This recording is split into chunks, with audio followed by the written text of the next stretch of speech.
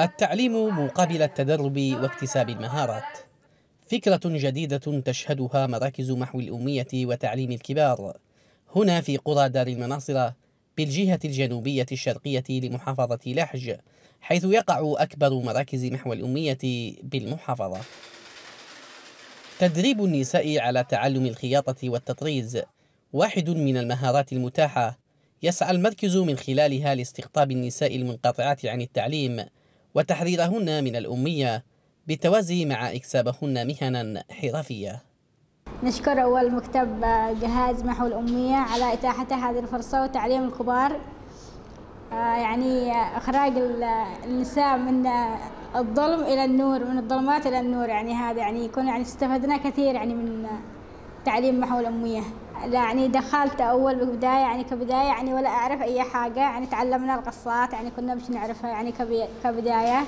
يعني وتعلمنا الخياطة على المكاين لأن مش لا تتوفر معنا مكاين على الأقل تطبيق يعني نكون نتعلم الخياطة ونطبق. صناعة المعجنات وإنتاجها بأشكال مختلفة. مهارة أخرى تحاول العشرات من الفتيات احترافها وسط أجواء من المنافسة. وارتفاع معدلات الإقبال على تعلم الحرف والعائدات إلى حقل التعليم.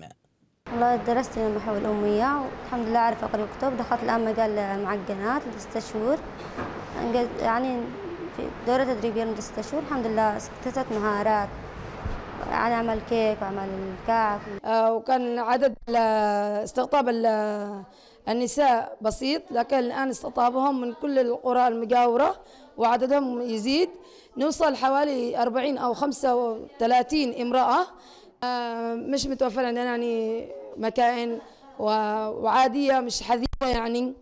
واللهم صل على النبي نقص البزوز ونحن كمتدربات نحتاج إلى آه، إلى تدريب تأهيل يعني.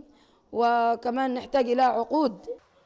التجميل والكوافير فن هو الآخر يرسم حضوره بين مجالات عدة إذ تحاول العاملات فيه تشكيل ملامح الجمال تطلعا للحاضر ومواكبة للذوق.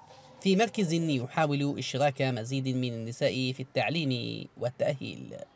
حققنا إنجازات كثيرة منها أول حتى يعني تعليم المرأة الريفية في إنها أول حاجة تخرج وتجي وتتعلم من أجل حاجات كثيرة منها. منها أول حاجة إنها تقدر آه، تربي أولادها في وترفع من مستواهم التعليمي. تخرجت مجموعة كبيرة طبعا من محو الأمية من خلال السنوات هذه للآن بقي من قبل كانت ثلاث سنوات والآن نحن لنا خمس سنوات مستمرين مع مهارات حرفية يعني عديدة آه، كثير من الإنجازات. على الرغم مما قدمه ويقدمه المركز من خدمات تظل مهمة دعمه وتأهيله إضافة إلى تمكين المتدربات بأدوات المهنة أو بالمشاريع غاية للكثيرات بغية وصل التعليم بالمهنة وبالإنتاج لسوق العمل. سامح عبد الوهاب لبرنامج صباح بلقيس. لا.